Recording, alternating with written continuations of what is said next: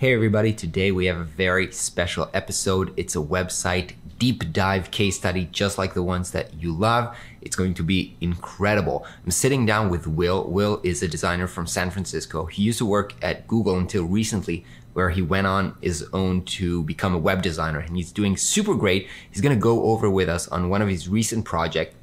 We're going to talk about everything from strategy, wireframes, visual design, development. You're going to love this, so enjoy this video.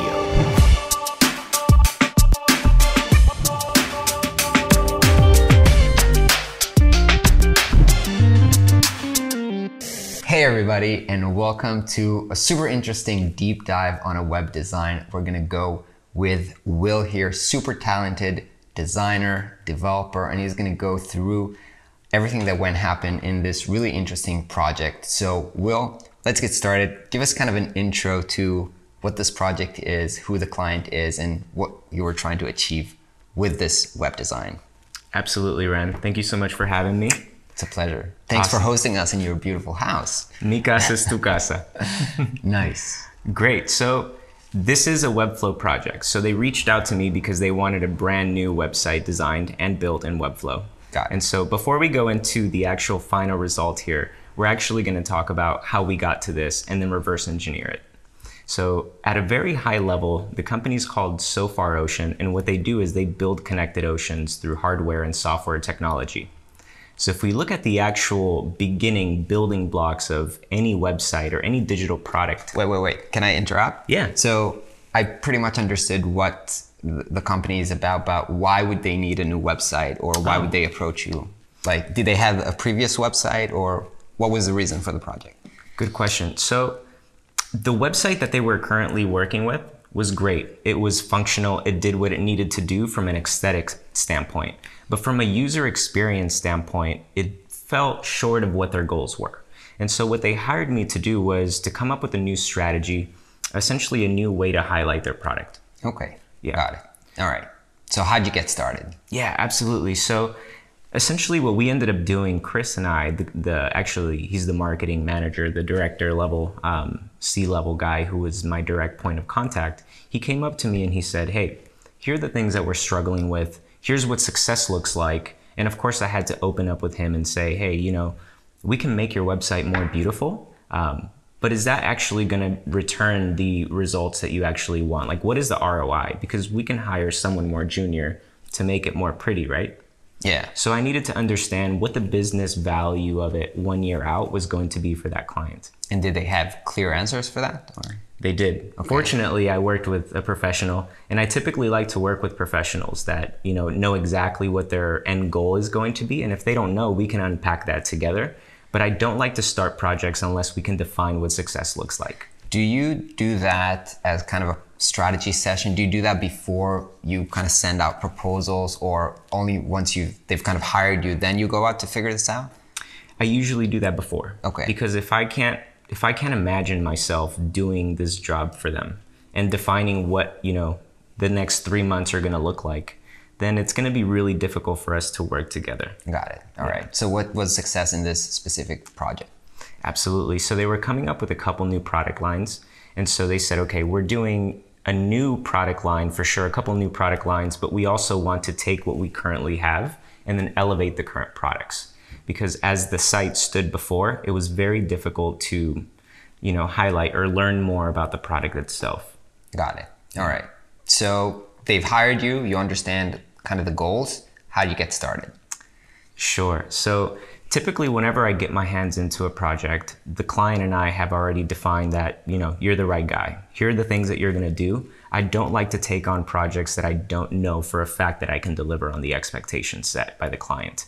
And so the expectation for the client was, well, I know you're a UX designer and I want you to work on the whole new reimagined like architecture of our site from beginning all the way to the end. That's not visual. It's actually not Webflow related at all. It's mostly about what buckets go where. Okay. So that way the user's mental model matches that. So how do you do that? Sure. So we essentially what we ended up doing is we started out with a sitemap. Okay. And typically that's the way that I like to start because once we define the sitemap, we kind of know exactly what we're trying to do at a 10,000 foot view. So it's kind of like building a home, right? We know that we have a bathroom, we, we know we have two bedrooms. What's in the bedroom? We know the bedroom has two closets or it has a bathroom. That's kind of the idea here. And so this, metaphorically speaking, is like the blueprint of a home. So do, you, do you come up with this together with them? Do you do this and then present it to them? How does this come to be to, to happen?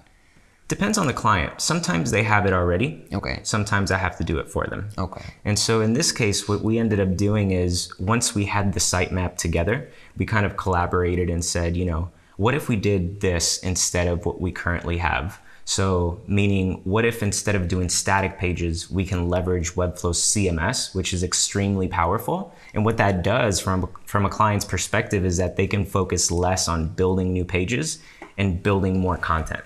Okay, got right? it. Okay, so you're showing, I can see that you're working w- within Figma. Did Yeah. you create this thing with Figma or did you just use it to collaborate on, I can see comments here or what's going on Yeah. here?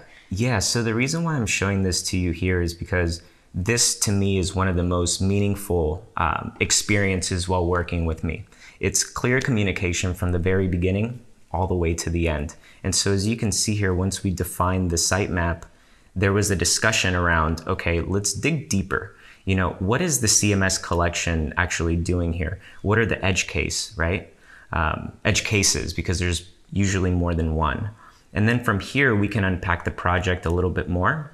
And this is the part of the communication and strategy that I was referring to earlier. Okay, so let me see if I got this right. You've kind of brainstormed this structure together. Mm-hmm. You went ahead and put it together visually and send it over in Figma so that you can guys start a discussion on this and, and comment. Yeah. Was dis- this, by the way, I didn't ask, this project was done remotely or is it, you're based in, in California? Where's the uh, client based in? the client is in California as well, in San Francisco. Okay, got it. So you were working face to face or remotely or All that work? remote. All remote. Yeah. Oh, got it. Okay. Yeah. So essentially, what ended up happening is when I create a project with the client, with a potential customer, I say, "Here's a link. From this moment until the very end of the project, all you have to do is click on this link, and you'll never wonder where you are, where everything, we are." everything happens within Figma? Yep. Okay, got it. All the documentation, all of the low fidelity designs, high fidelity designs, all within Figma. All right. So you have this base structure for the website. Do you at some point get an approval for it? How do you know that this step is done and, and you can move to the next step? Right. So this to me is a clear indicator that we're doing things right. So if something is documented and we're saying we're going to move forward in this direction, now there's a clear anchor in the ground that says this is a stamp of approval. We're ready to go into the next phase. And so I I work in phases with clients. Okay. Um, as they say, guesses make messes, and professionals have a system or a process that they follow. This is the first step 10,000 foot view. The next step, which this is what's helping us move into the next step, is you know the low fidelity based off information architecture and the taxonomy of the information and how everything will live together. So we don't And by that, you mean wireframes. yeah. Okay. Yeah. Basically saying, okay, you know, we have a home page, but what's going to go on the home page? It's not so critical to get into that here, Okay. but we do need to know the technical aspects of, you know, what we're doing here. And at what point do you kind of align on the visual direction? I saw that you have here a board for inspiration. At what point does that come into the discussion? Yeah, good question. So immediately after I've kind of architected the system, the 10,000 foot view, what I like to do is say, okay, well, now that we have a clear direction on scope of work, let's talk through what what inspires you as a company. What are the sites that you love internally that you're like, oh, this site, this company does it so well. It can You ask them to send you references uh, or, I or you bring them on the table? I do both. Okay. Got it. Yeah, because it's it's naive to assume that you as a designer have all the answers. At times the client may say, "Hey, like we know the look and feel." And the client knows themselves better than I ever will. Yeah. And so they kind of shed light on that. Got it. Yeah. All And- right. And, so that's what this is.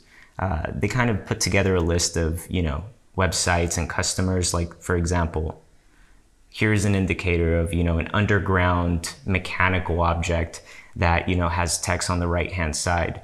While we didn't copy this, it was enough for me to influence, you know, the next step, which is the, the low fidelity design, essentially, right? Got it.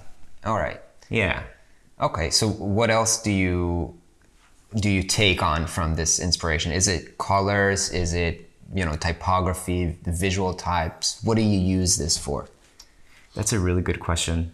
All of that. So okay. all of that. Um, so to me, the way that I look at design, it's it's a language, especially visual design, and it communicates an emotion at the end of the day. So whenever someone looks at this screenshot, for example, does it communicate enterprise or does it communicate consumer, consumer-based products? Like these are the types of discussions that you should have. And so they wanted to move away from like, you know, these types of like abstract shapes over in the corner. Mm-hmm. These are popular, but it's not their brand. It's not their character, the persona that they want to communicate in the market. By the way, I did not ask you. A lot of clients sometimes come up when they come to you, they come with a baggage of the, the brand language, colors, and, and kind of they, they already have something that they work with. In mm-hmm. this case, did they have something that they wanted you to keep in line with, or were you free to do whatever you want? Fortunately for me, I did have a brand guideline. Okay. Yeah, with colors, typography. So it wasn't a complete redesign of their brand, um, but it was uh, it was the type of thing that was flexible they weren't so stuck on their current brand. Got it. Yeah. Okay. That sounds ideal. Yeah. All right. Yeah. And, you know, one more thing I like to point out during these early steps, I like to talk to the client about, you know, how do you imagine this relationship to work well? Um, and typically I ask questions like, do you want to be the person that tells me what to do? or do you want me to be the person that decides everything? Is that does that go before you get started with the relationship? Before you That goes during the visual design because visual design okay. is so subjective. I can create a, a, a user experience that is amazing. Okay. And we can associate a number to that. This site converts X amount of users more, or people were able to find the information 10 times faster than they were based off the previous design but aesthetics is more of a, an acquired taste. Okay. Right? Yeah. And so for that, you have to be able to say, you know, I don't want to step on your toes. If you know exactly what you want, let me know. Okay. And, and we can figure it out. Got it. So what was the relationship like in this case? It was definitely a mutual agreement that we were going to do both. Okay. A little bit of both. Got it. They know that I'm the professional, but they know that they have a vision. And, you know, typically that's the right way to go.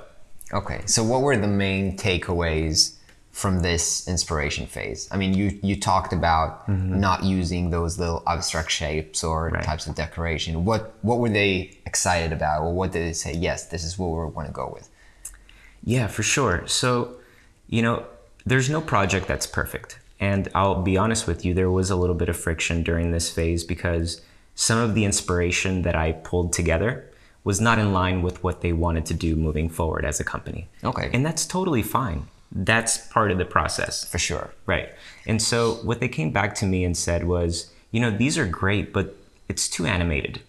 It's um it doesn't communicate, you know, sophistication in a way that we're trying to do and it's it's really about the core value of the company. They wanted to go more enterprise. And something like this as it is, you know, a visual designer might look at this and say this is amazing. This is a great aesthetic, it didn't and it didn't go in line with what their goals were. And you have to respect that as a designer. Got it. Okay. Yeah. So did you end up having a reference for what they were looking for, or did they come up with something? Yeah. So they sent me several examples of sites that currently exist in the market. And while I'm not someone to copy, I did get influence from these sites. Got it. All right. Yeah. Okay. So what's the next steps? You've got this yeah. covered. You have the sitemap. How do you get on to the next step to the wireframes. What happens there? For sure. So very quickly, once we kind of defined, you know, here's the idea around um, potential looks and feels that we can do here, then I like to go very, very quickly into the actual components, the building blocks. And typically I like to start with typography. The main reason why is because clearly, you know, web design or design in general, um, as a profession, design is trying to sell things or trying to make things more easier for the user. And a huge part of that is communication. Yeah. Communication falls down to I mean at the lowest level communication is typography. How do you communicate some and you know everyone understands that you look at a big headline clearly you know what the company does, right? And so that's why I start with typography and make sure that that's in line. Got it. Okay. But but this is I mean to me it looks a little bit out of context. Like, mm. how do you know that this is good versus something else? I mean, you said that Mm-hmm. font wise, like they had something to work with. Mm. So how can you? I mean, how, how do you know that this is good Right. at this point?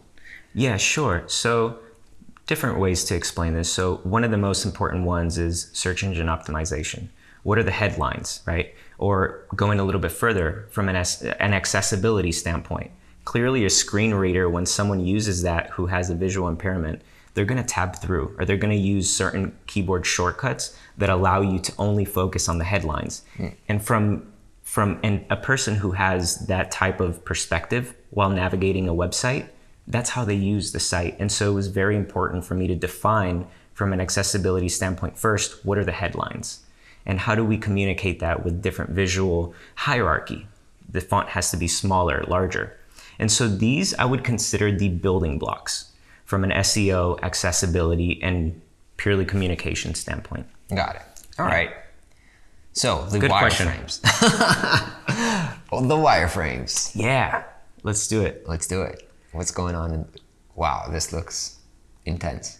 There are quite a bit of wireframes here. Let me get out of the actual commenting here and let's go straight into, to me, what a wireframe is and, right. and what it should convey. So while I do appreciate paper prototypes or paper wireframes, I've learned that not all clients understand what that means whenever you have a you know a square. And so what I tried to do is I tried to get closer to the high fidelity uh, while still maintaining you know a clear balance of you know this is not an image. This is going to be an image at some point, but it's not. Got These it. are just gray shapes. Okay. And so what that allows us to do here is really focus on the navigation layer, which we talked about during the sitemap, right? And so one thing, as I mentioned earlier in the conversation, they had this idea to bring in, you know, two more products. And the idea here is that that's great, but how do we highlight it? How do we make it accessible for whoever is landing on the site? And so instead of going with this solution, which is data and hardware, we decided to go with data and hardware under a products tab. And that made the most sense from a hierarchy standpoint, from a business side. What can you? Because I'm not super familiar with the product. It's, Mm-hmm. With the product and the company. Why did you make this decision? Why was that better? Absolutely. So, for example, let's say you hover over data with the solution. Yeah. Now you're only seeing data. In this solution, when you hover over hardware, now you're only seeing hardware. Why not just have a solution where when someone hovers Got over it. Got it. product, Okay. they know So exactly what by it is? data, you mean solutions that are related to data. Correct. Got it. Okay. So I think it's much clearer when it's under the title of products because otherwise, data for me that's a little bit out of context. Right, exactly. Okay. but at least we can kind of create these two solutions that made the most sense. Um, Did you show them both and have a discussion about this? Absolutely. What's the process like? Okay. Yeah, we have a we had a lot of discussion around this because essentially this is how someone will navigate their site, right, and find the right information. Okay. Cool. So moving on from you know obviously from the navigation layer, you also have to have the footer. Um, and we tried different solutions for the footer. One that made the most sense was this one. Uh, one thing that they really wanted to highlight was the sign up for newsletter. Got it. They wanted to get more people in there. And while we could have moved this down to the bottom, I figured, you know, we read from left to right. Unless you're from Israel, then you read from right to left. Um, so I figured, you know, might as well do the branding on the left and then immediately hit them with a call to action to keep the people in the loop, right? Yeah. Makes sense.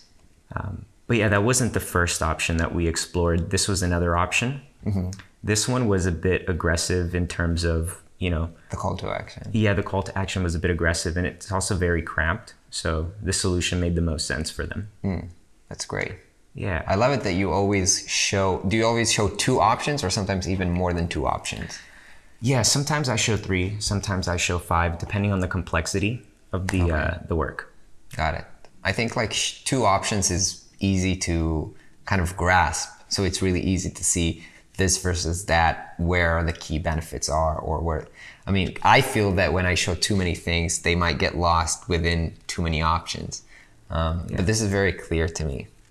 When you do wireframes for pages like the homepage um, and stuff like that, what is your process for for that? Do you actually write the copy, or can we go over the homepage? Or Yeah, actually, that's probably the best uh, transition here. So I don't write copy. okay, Yeah. Typically, the people that I work with are either founders of the company or some kind of marketing manager who has a dedicated copywriter in house. got it. Yeah. And while I do like to write copy, um, don't get me wrong, that is part of what I can offer. I've learned that going back to what I said about the company, the company knows who they are way better than I ever will. And so I give that that ability to really, you know, architect that language. Um, So yeah, are the content writers part of the process, or they're they're joining later on, only in the development? What what at what stage do real content goes into play? Such a great question. I've worked with copywriters that say, give me the design and then I will create content for that design. And typically, I don't like to go in that direction, mostly because the copy, the information is critical. That's the that's what design is, right? The communication aspect of it. And then we can figure out the best way to tell that story. So you don't go into a, a film and then start recording, right? You Right. have a blueprint. Right. You have the actual script, and then we shoot the film. So I try to communicate that early on because design is intentional. And if I don't have the copy or if I don't know what they're trying to communicate, it becomes art. And I'm not an artist, I'm a designer. Okay. So do you do are they sh- kind of um, shared? Like are, are they watching the the um, the wireframes and participating? Like how how does that collaboration looks like? Exactly. Yeah. So I give them access to Figma. Okay. And sometimes they'll just say, hey, like, I don't know exactly what the design will be, but here's this thing. And, and you know, I'm, I'm just trying to communicate it visually. You know, the reason why I love Figma so much, and I'll show you, um, I actually work with this gentleman, the, the guy at Sofar Ocean, and he didn't go as far as creating designs, but he actually went as far as putting his thoughts in a visual way on the canvas. And so, as you can see here, this isn't visual design, it's information architecture. And this is important. This is the step that I'm talking about. Got it. So you can use those con- this this type of content to copy and, and use it within your wireframes, or Yeah. or helps you structure the content. Correct. Got it. It gives me And this insight. your client did this within Figma. yeah, That's pretty cool. That's Yeah. great. yeah. He was he was a really great partner, and we had a very tight deadline, which was you know it's admirable that we were able to get as far as we did between just the two of us. Yeah. That's cool. All right, so back to the wireframes. Yeah. Um, do you sh- do you do also multiple versions Mm-hmm. of pages like you showed us for the footer and the header? Like how how deep do you go in Yeah. exploring different different options? Yeah, so typically what I like to do during these phases is define what the problems are with the current solution that they have. And one of the things that they mentioned is people drop off. People don't know where the products are or how to get to the product pages. And so I had an idea. I said, okay, what if we highlighted the products immediately above the fold? And they were like, you know what, that's that's pretty aggressive, but let's try it. Let's come up with several solutions.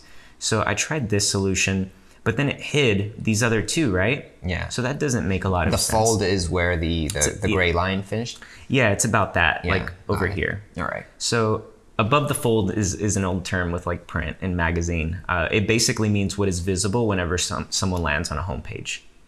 And so with this solution, clearly these two products are Yeah. hidden.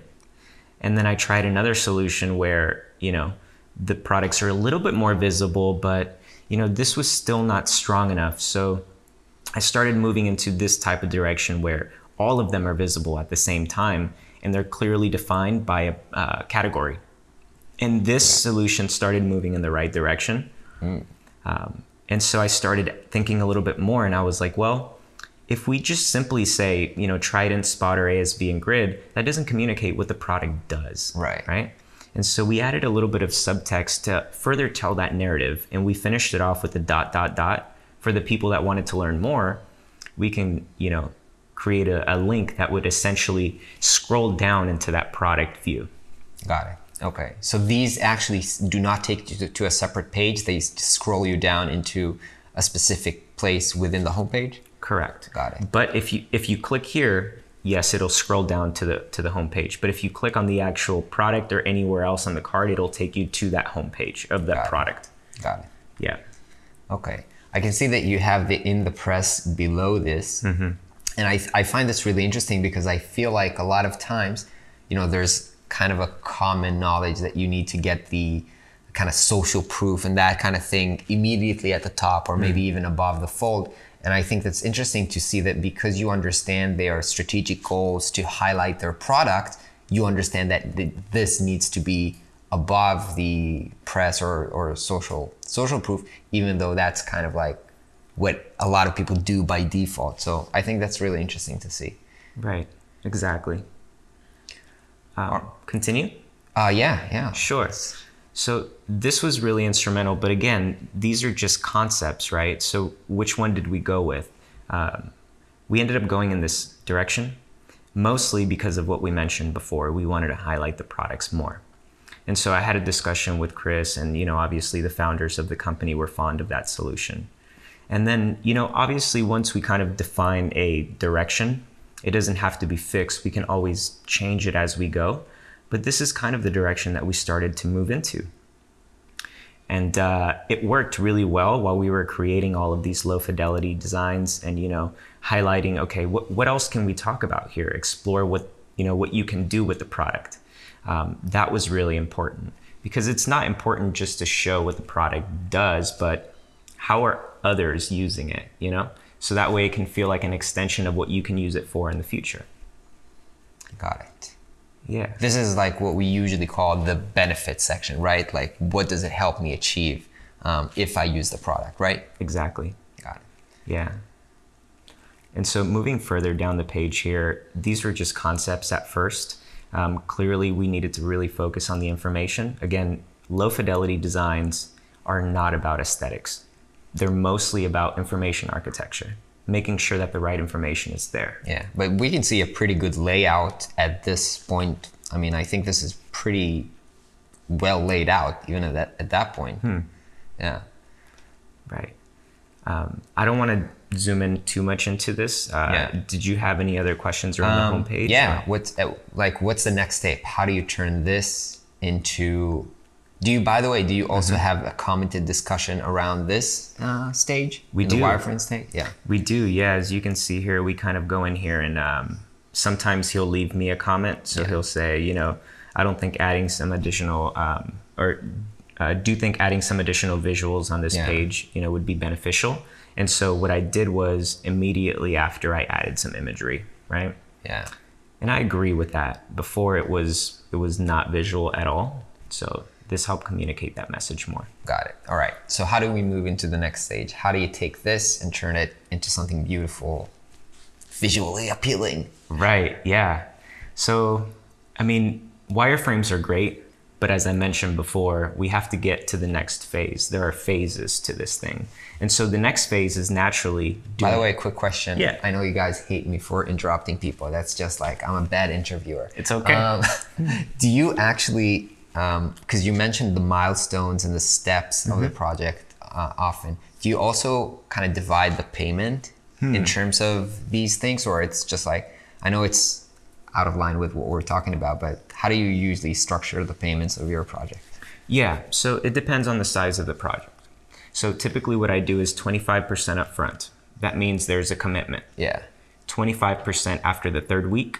Got it. Without without any consideration to what milestone you are, it's just by by date. Yeah. yeah. Okay, got it. So 25% deposit, 25% after the third week, and then the last 50% once we're done. Okay, got it. Yeah. All right. Back to the visual. Awesome. Uh, so there's a lot here. We won't talk more about you know the low fidelity designs, but you know as Ran wants to know, how do we then translate this information, which is really what it is, into something that's aesthetically pleasing that further tells that narrative?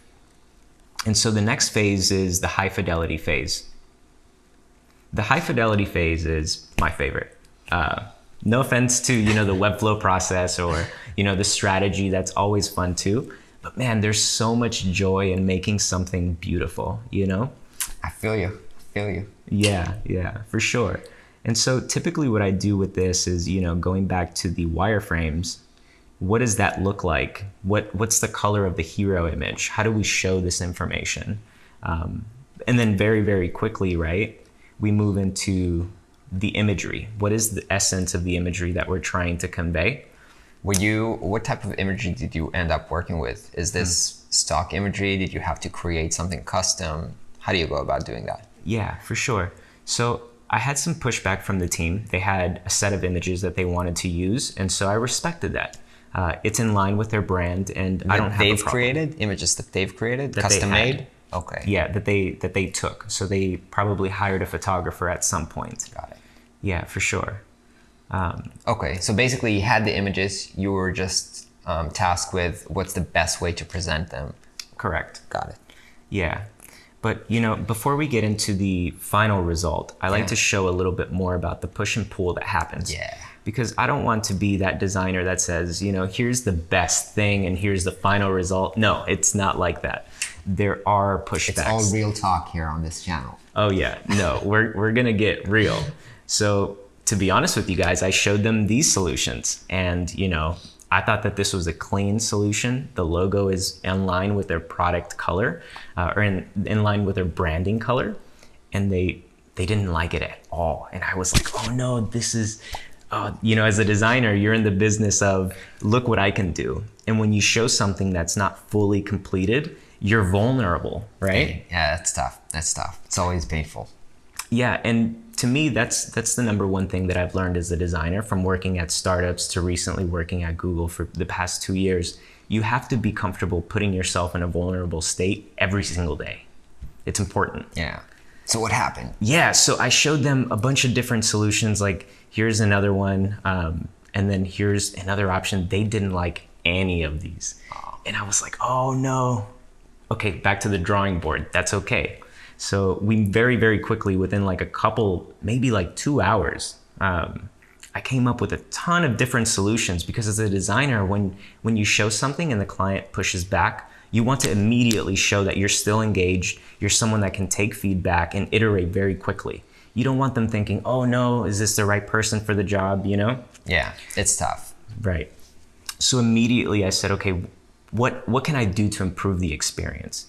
So they wanted to go with a darker look and feel. That was that was very clear. And so I thought, okay, what if what if we had iconography for the products that we have, uh, or that they have, um, and then you know leverage some of the imagery that was already persistent on their website. They kind of liked this direction, um, and they were like, oh, you know, what, what what if it looked you know a little lighter? What if we had white backgrounds with like a gray, you know, background and in the cards to kind of offset the information. We ended up moving completely away because we didn't have the time, honestly, to, To do create icons. It. Yeah, we just didn't have the time. We had we literally had one month to do the strategy, the low fidelity, high fidelity, and all of the Webflow implementation. Okay. Yeah. This would take for me, I think, like three months. Uh, It sounds like a three months project. So It was one a- month is a tight deadline. It was pretty tight. Yeah. Yeah. Um, so very quickly we moved away from some of these like you know wireframe or more iconography um, based designs into a more realistic like here are some product shots of the product actually in the wildlife because again as we mentioned in the beginning the whole strategy of this is to surface their products to get more people involved and learning more about their product so why would we hide them behind icons Yeah. right All right. and then, you know, from there, it was all about okay, now that we have the hero section, how do we actually show the product section in the best light? Well, I presented an idea where, you know, you clearly have someone using the product. That's kind of cool. And this is imagery that they already had at Mm-hmm. this point. Yeah. Yeah. But I see that you still had uh, icons going on around here. Right. So these are more, I guess, secondary uh, icons, more to to offset the the text. Because Do you know- work with um, ready-made icons, or do you get them somewhere, or you create them yourself? What's your Yeah. what's your I- icon strategy? So Mike, uh, you know, he's a, another YouTuber. He would tell you, I don't like to spend time making icons. I just go to an icon pack and you know I use it. yeah. Um, I am the same way. yeah. yeah. Same here, by the way. Yeah. Right, right. Got it. Unless I absolutely have to make something custom. So, what's your favorite icon spot? Hmm. Good question. I'm biased because I use material design icons for a long Okay. time. So I typically leverage material design. Got it. All yeah. right. They have a lot of great icons. All right. So continuing, um, you know, obviously this is an exploration phase of high fidelity solutions. Um, how do we, you know, define what that product section looks like? And you know, we went through several solutions, and I'm only going to show you a few. Do you share all of these sketches with the client? All of these different iterations? Whenever we're talking about something as important as a product section, yeah, Got it. All right. yeah. And this is, you know, obviously very, very important to get right. Yeah. So it's important to look at how far can we take this? What is like, you know, as far as we can go to like the, the lowest uh, effort, right? We ended up settling with this solution. Yeah. This was not my favorite. This is another part of being a designer no one talks to you about in school. You know, the client may choose a solution that's not your favorite, and that's okay. Sometimes you just, Yeah. you know, I think it looks good. I mean, it, it looks really good. Awesome, thank you. Yeah. Yeah, I, I, you know, after a while, it grew on me. Yeah. Continuing on to the later stages of the high fidelity designs, as you can see here, we're still pulling the same type of essence, which is the dark background, allowing us to use tabs, you know, and, and bringing in some of the functionality in mind as we do it as well. Um, so here's another example where we were thinking about the actual technical side a little bit because, you know, as you can see here, there's an image on the left-hand side and then we have some bullets on the right-hand side. With Webflow, you can do things like sticky, right? It's a sticky position where as you scroll, the user doesn't scroll past this image. So the image stays fixed and I can show you how that would work. But do you communicate that to your client at that point? Um, do you tell them this is going to stick when we scroll down or?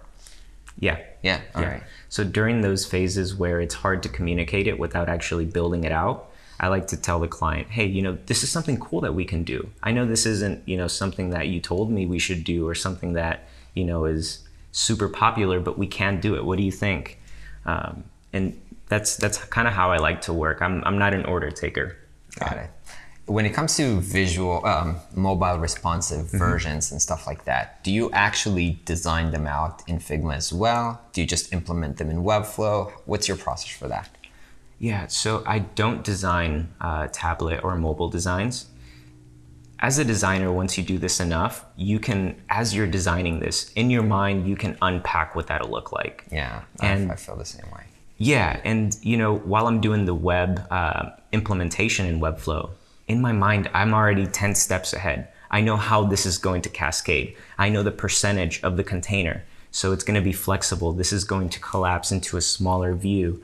Uh, you know, conversely speaking, the same thing for this. This is two columns at the moment, but the smaller the screen gets, it'll just wrap, right? And using Flexbox, it becomes extremely easy to get that type of behavior.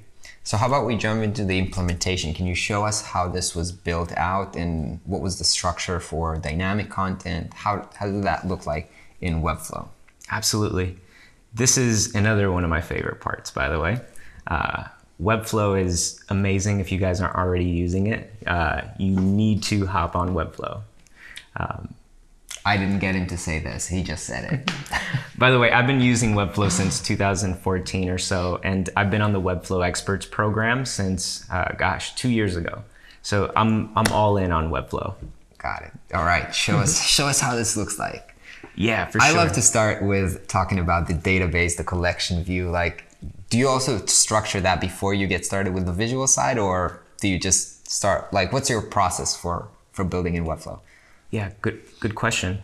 The database and the information, going back to what I said before, is the most important thing. So I like to start with that architecture first. Um, I was fortunate enough to not have to build the backend Okay. um, from scratch. They already had a team who worked in Webflow. Oh, that's um, amazing. Yeah, help- Their old website was in Webflow. yeah, Oh, that's interesting. Yeah, so they were already familiar with Webflow. So they said, here are the current backend solutions. We want to do more stuff with it, more sophisticated filtering. Can you add more logic to it? And so what I did is I, you know, similar to a developer, you may not start from scratch. You may use a framework that already exists and then add on top of it. So technically speaking, did you worked on their existing project within Webflow? You did not create a new project. I did create a new project, but I still kept the back end. Everything else was swiped clean. Got it. Okay. Yeah. So you you imported um, the the items, the CMS items. Is that how it worked, or? So I duplicated the project Got and then it. deleted all Oh, of the pages. Okay, that's interesting. Yeah. Okay, got it. It, it was a very unique experience. I'm not used to doing that. I'm used to the, being the person that, you know, builds everything from the very beginning all the way to the end until launch. Got it. Okay, that's interesting. Yeah. I was fortunate though. The developer that worked on this was is really smart, knows Webflow really well. So thank you. I actually met him at the No Code conference. Oh, His name is Matthias. I'm Matthias.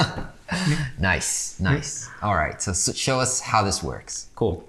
So I don't know how technical you guys are in terms of, you know, the CMS collections here, but When, when- so just a quick recap if you're not a Webflow user or um, collections is basically the kind of the database for the dynamic content. If you want your clients to be able to add new content themselves or edit things besides just titles, then you create collections, which is basically databases. So as you can see here, they have team team members or or blog posts which they can just create and add new items to their website themselves.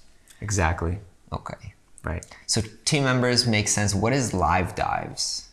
Live dives are individual, um, basically pages. It's like case studies. Consider them case studies, essentially, Mm, Got it. where they actually show the live dive of the product being used in the real world setting. So it's not like here's an image of a product. No, they actually take the product and put it underwater and show you what it looks like, Got which I think is brilliant. So the structure for this is something like a YouTube video and uh, some links and a thumbnail. Mm-hmm. Right. Got it. Exactly. And because this site is already live, I'm able to show this to you guys. If it was not, I wouldn't be able to. So um, this is actually live as we speak now, so you can test it. And how long? How many pages are on the website? oh gosh, um, Can we check it out? yeah. Oh man. Oh man. How many pages? There's a lot. So let's talk about how long it took you to actually implement this and and actually the whole project. Yeah, for sure. So the entire project from beginning to end was um, four weeks. Four weeks. Four weeks in That's total. incredible. How how is that divided between the different parts of the project? Yeah, so I was very aggressive about setting definitive deadlines. We have to be done with a low fidelity by this day, or Yeah. we're not. Did they come up? Why did you do it so fast? Like what? They, They had- were they were limited. Yeah, so they had a deadline of the 27th um, of October, and so this was it was very critical. They had a, a presentation or a conference to go to, and so it was imperative that they launched a new site with their new branding and everything along with it. So that was not negotiable. Got it. We had to do it. So in order to do this as a designer, I had to let them know. From my previous experience, if we're not done with this phase by this time, it's impossible to hit our goal. And so that's part of a, a consultant's role, which is to create, you know, walls in terms of what's realistic. So that way you can better manage expectations. So how was the project divided? Low fidelity design was about one to two weeks. Uh, during that time, I was also a little bit working on high fidelity because it was very quick. I typically don't do that. I typically do low fidelity then high fidelity. Um, and then the Webflow implementation, I, well, actually, the, the high fidelity implementation was about one week. So low fidelity, two weeks, high fidelity, one week, and then one week for the development. That's incredible. That's incredible.